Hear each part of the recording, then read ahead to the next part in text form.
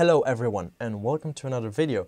Now today I'm not uh, solving problems, I am showing you a problem and asking you what can I do about this. So the problem is I can't see anything on my Premiere Pro. So the sound is there but the rest isn't, just nothing. Now something that I found is when I uh, take this out or maybe just Okay, you can see that's really weird and I want to know what's happening here because I don't want to edit like this. So if I do it bigger, it just disappears. You see? Uh, okay.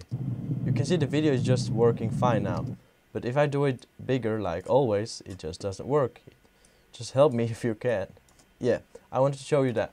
If I take these off and I do it bigger, for instance, instead of smaller, you can see that it works, but that's that's not what I want. I mean, what the hell is happening? If you guys know the answer, please comment below. And also something that I noticed, uh, if I open GeForce Experience, it doesn't start up. So I think it's it has to do with the drivers, a problem with GeForce and the drivers. I don't know, but if you guys know the solution, please tell me. Thank you for watching and bye bye.